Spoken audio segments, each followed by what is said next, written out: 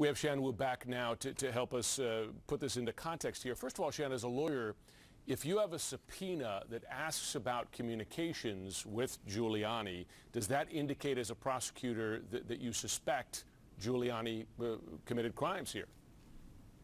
Uh, well, if I was the prosecutor making a statement, I, I, wouldn't use the word that I suspect him, quote unquote. Um, but he's certainly going to be a, what they call a subject of the investigation. That's kind of one uh, category down from being the target.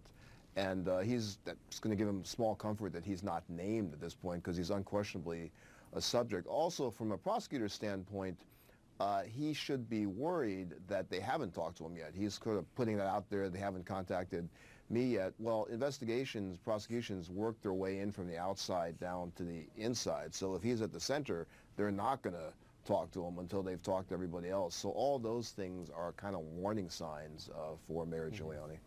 Now, when uh, Mayor Giuliani says that he has insurance, uh, you've heard that comment. Uh, is he saying he believes the president will pardon him? Is that your read?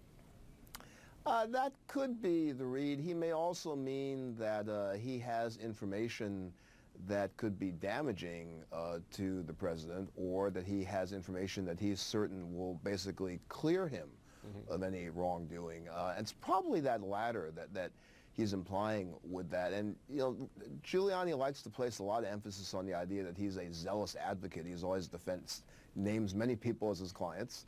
And so his problem here is that if these folks, if Parnas was his client, as he has said at some points, he has no privilege there because that privilege is Parnas's privilege, not his. So if his client wants to help the client themselves and roll over on Giuliani, he can't do anything to prevent that.